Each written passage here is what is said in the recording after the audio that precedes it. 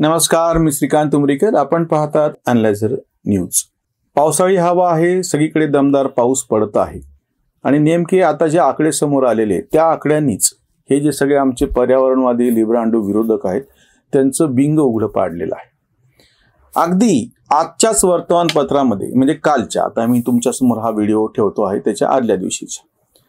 कालच्या एका अतिशय माननीय अशा वर्तमानपत्रात कॉपीराईटमुळे मी त्यांचं नाव तुम्हाला दाखवू शकत नाही फक्त. एकीकडे सांगितलंय की नाशिक इगतपुरी भागामध्ये प्रचंड पाऊस त्र्यंबकेश्वरने सलग त्र्यंबकेश्वरमध्ये सलग तीन दिवस शंभर मिलीमीटरपेक्षा जास्त पाऊस पडला. आता कुठल्याही अतिशय शेंबड्यातल्या शेंबड्या पोराला एवढं कळतं की नाशिक भागामध्ये पाऊस पडला की गोदावरीच्या पात्रामध्ये पाणी येतं आणि गोदावरीच्या पात्रात पाणी येतं याचा अर्थ असा होतो की ते मराठवाड्यामध्ये पोहोचतं. नाशिक भागामध्ये सगळ्यात जास्त पावसाचं जे पाणी आहे ते वाहून कुठे येत असेल तर गोदावरीच्या खोऱ्यामध्ये येतं. त्याच्यामुळे जायकवाडी असो किंवा बाकीची मराठवाड्यातली धरणं त्याप्रमाणे भरतात. कोणालाही कळतं हे याच्यासाठी काही अभ्यासाची गरज नाही. आणि त्याच वर्तमानपत्रांनी त्याच बातमीच्या बाजूला अशी बातमी छापलेली आहे की अजूनही मराठवाडा तहानलेला धरणांनी गाठला तळ उपयुक्त पाणीसाठ्याची आकडेवारी. किती भंपकपणा आहे बघा हा.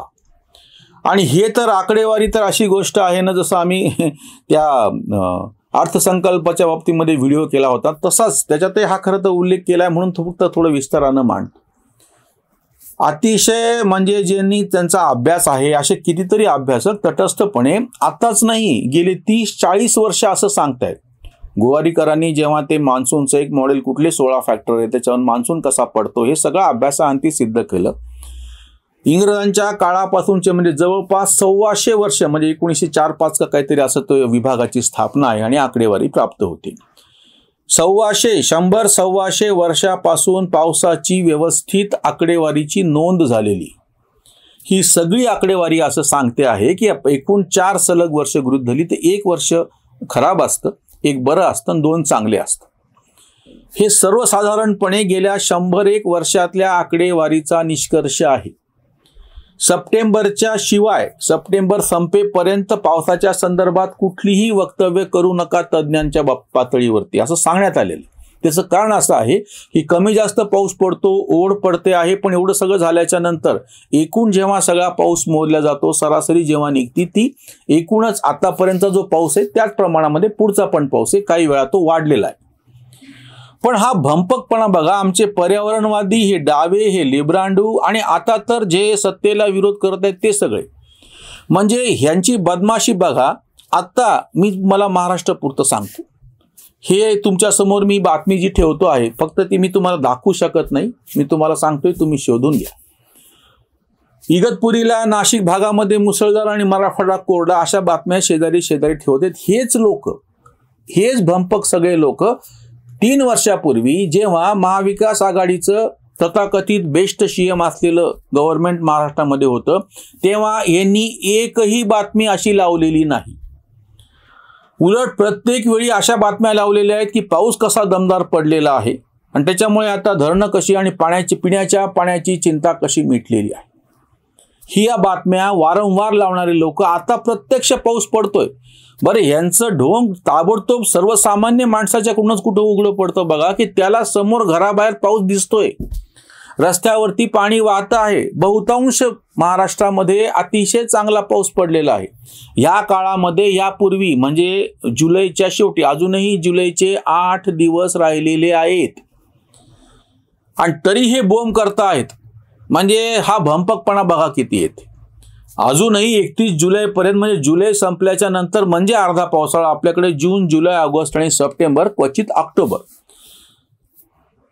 मृगाचा पाऊस यावेळेस कधी नव्हते जोरदार सगळीकडे पडला. पेरण्या अतिशय व्यवस्थित झाल्यात. नेहमी अडचण असते की खरीपाच्या पेरण्या होणे. खरीपाच्या पेरण्या ह्या मृगाच्या पावसावरती जास्त करून अवलंबून असतात. त्याच्यानंतर जर ओढ दिली तर समस्या निर्माण होते. दुबार पेरणीचं. तेही संकट संपूर्ण महाराष्ट्रात कुठेही आलेलं नाही. खरीपाचा हंगाम बहुतांश वेळा पाऊस लांबल्याच्या नंतर पेरणी वाया जाती दुबार पेरणीची हे पडते. त्याच्यामुळं खरीपाचं जे मुख्य आहे खरं तर हंगाम शेतीचा त्याला धोका असतो. यावेळेस खरीपाचा हंगाम पेरण्यासगट नीट पार पडतो आहे. उलट काही ठिकाणी आता जास्त पाण्याची अडचण निर्माण झालेली असणार हे सगळं माहीत असताना हे सगळं समोर दिसत असताना बरं आता योगायोगानं हा सगळा सोशल मीडिया आणि बाकीच्या गोष्टी इतक्या बळकट झालेल्या आहेत.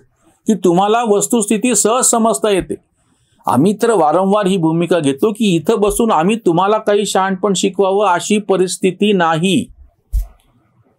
कारण त्याचं सगळ्यात महत्वाची गोष्ट अशी आहे की तुम्ही सजग आहात तेवढे. ज्या कोणाला अभ्यास थोडाफार करायचा आहे समजून घ्यायचे त्यानं काहीच नाही. फक्त अर्धा एक घंटा वेळ द्यावा आणि फक्त युट्यूब चाळावं. तुम्ही जर पाहत बसले तर तुम्हाला सगळ्या ठिकाणचं पाऊस त्या ठिकाणची आकडेवारी अधिकृतरित्या आकडेवारी उपलब्ध आहे. आमचे एक मित्र आहेत उदय देवळांकर म्हणून. या ठिकाणी आम्ही त्यांचे काही या विषयावरचे व्हिडिओ पण आवर्जून अनलायझर न्यूजवरती केलेले होते. ते वारंवार पावसाच्या अंदाजा बाबतीमध्ये सोशल मीडियामध्ये फार स्वच्छपणे ढग कुठे आहे ढगांची सघनता कशी आहे पाऊस कसा पडणार आहे? आणि आत्ताच नाही गेले कित्येक वर्षांपासून अतिशय प्रामाणिकपणे हे काम करत आहेत वारंवार हे सगळे तुम्हाला आकडे समोर ठेवत आहेत हे सगळं माहीत असताना बातम्या काय लावायच्या? तळणा धरणांनी गाठला तळ. अजून बीड जिल्ह्यामध्ये पाऊस नाही कारण की लातूरमधली धरणं कोरडी आहेत. म्हणजे हे ठरलेल्या बातम्या लावायच्या की जेव्हा की जुलैच्या एंड सुद्धा आलेला नाहीये सप्टेंबरच्या एंडशिवाय तुम्ही एकूण पावसाच्या संदर्भामध्ये कुठलीच कॉमेंट करू शकत नाही. हे कशासाठी केलं जातं? जसं त्या अर्थसंकल्पातल्या आकड्यांचं जे खोटेपणा आहे लगेच उघडा पडला. ते आम्ही व्हिडिओ केला होता. मी मुद्दाम यासाठी आकडे देण्याचं टाळतो कारण की ती जडजंबाळ होत बसतं. आणि तेच बरं जे ग्राफिक्स तुम्हाला दुसरीकडे उपलब्ध आहे ते परत मी सांगावं असं काही नाही. आणि बऱ्याचदा लोकांना ते लाखो करोड रुपयाचे आकडे काय अर्थसंकल्पातले किंवा पावसाचा जो डाटा असतो तो सुद्धा काय बऱ्याचदा कळत नाही. त्याला सर धोपटपणे काही गोष्टी फक्त माहीत असतात. बरं ह्यांनीच कसा खोटाटेपणा करून टाकला की ह्यांचे काहीतरी ठरलेले लाडके धरण आहेत. तेवढ्या धरणामध्ये पाणी आले की संपलं. जायकवाडी भरलं म्हणजे मराठवाड्याचा पाण्याचा प्रश्न सुटतो असं होत नाही. अर्ध्यापेक्षा जास्त मराठवाडा गॅ जायकवाडीच्या त्या सगळ्या कॅचमेंटच्या ह्याच्यामध्ये येतच नाही मुळात. पण ह्यांचं तसं नाही. काहीतरी एक नॅरेटिव्ह धरायचं आणि त्याच्यावरती बोंबा मारायचं. बरं चुकून माकून जायकवाडी भरलं तर हे काय म्हणा मी तुम्हाला आत्ताच सांगतो. जायकवाडी धरण भरलं जायकवाडी धरणाचे दरवाजे उडा लावले की लगेच त्यांची बोंब असणार. ते तर अर्ध्या अर्धे गाळानंच भरलेलं आहे. हा गाळ कधी दूर करणार? ह्या गाळाच्या निमित्तानं काय राजकारण काय होत आहे? म्हणजे कुठलीही गोष्ट घडो? दरवाजे उघडले तरी बोंब दरवाजे नाही उघडले धरण भरलं नाही म्हणून बोंब धरण भरल्याच्या नंतर गाळानच भरलेलं आहे. मग त्याचे पाणी किती ते सगळी बोंब?